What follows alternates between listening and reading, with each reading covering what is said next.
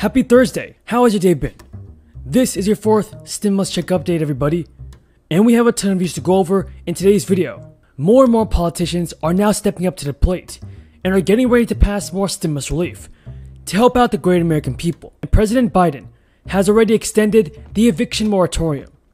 And this probably means that we're going to receive more stimulus check in the near future. But first, everybody, tomorrow I'll be announcing the winner of a free $100 Amazon gift card.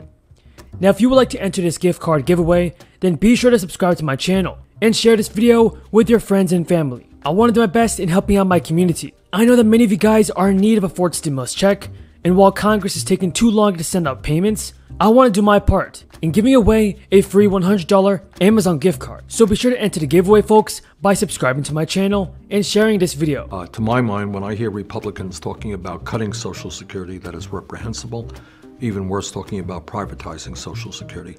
So what we have got to do as a nation is, first of all, to understand Social Security is not going broke. Social Security has $2.8 trillion in the trust fund. First things first, everybody. Here's what CBS reports about the fourth stimulus check.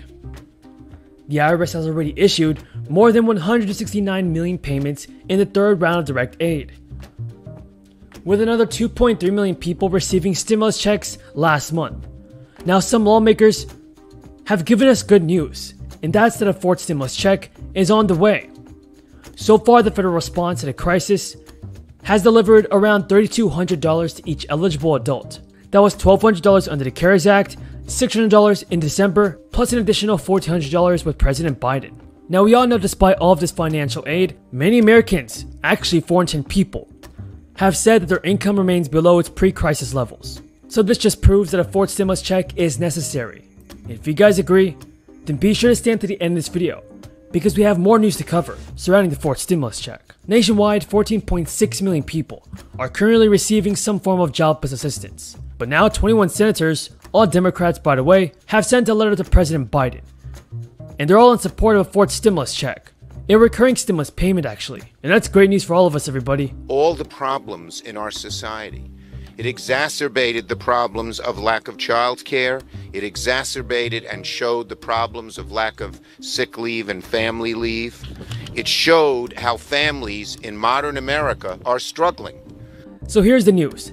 Senators say they expect a bipartisan package to come up for a final series of votes as soon as this weekend. But the timing will depend on whether Republican senators, in particular, feel that they've been given enough chance to make changes to the legislation one Senate Democrat complained the package is moving not fast enough. He said there are people holding amendments that they really shouldn't be. Vote up or down, churn and burn. The Senate Democrat, Jon Tester, said it's probably going to be this Saturday before there's a final vote on a final passage. Now, the legislation, folks, as introduced, would provide $110 billion for roads, bridges, and major projects, $66 billion for passenger and freight rail, and $39 billion for public transit, with only $55 billion for water infrastructure, among many other provisions. Now, one thing that must be included in this infrastructure bill is a fourth stimulus check. Congress must realize that there are still many Americans across the country that are in need for a fourth stimulus check. Sanders, thank you very much for sitting down and talking with AARP New Hampshire about Social Security. Thank you very much for having me. I'm going to start with a quote that comes right from you. At a time when senior poverty is going up, our job must be to expand, not cut, Social Security. What's your plan? Well, Scott, that does sound like me. Uh, we have throughout this country millions of seniors trying to get by on twelve, thirteen, fourteen thousand dollars a year. So President Biden and Kamala Harris have to do a better job of sending out stimulus relief payments. And if you guys agree, then be sure to stand to the end of this video, because I will be going into more details about what President Biden said surrounding the fourth stimulus check. Now, senators had filed 281 amendments to the infrastructure package as of 5 p.m and Senator Mike Lee offered 35 amendments, while Senator Roger, the ranking Republican on the Senate Commerce Committee, offered 16. And Senator Marsha Blackburn had offered 23 as of Tuesday afternoon. Now, many of the Republicans that I just named are not expected to vote in favor of the final bill, but still, everybody, senators on both sides of the aisle teamed up to defeat the amendment by a resounding 20 to 78 vote. Had it been adopted, the entire bipartisan deal would have collapsed under Democratic opposition. Senator Thomas Hills, Senator Thomas Tillis, a member of the group of 22 senators who backed the bipartisan negotiations that produced the $1 trillion infrastructure bill, said that he would vote to defeat any amendments that would upset the carefully crafted compromise. In mid July, the United States was in throes of continuing, of confronting the second wave, and more than 30 million people were claiming unemployment benefits. But now, just two weeks ago, the total number of people, the total number of people reported to be receiving the benefits had dropped by more than, by more than half, to around 13.2 million.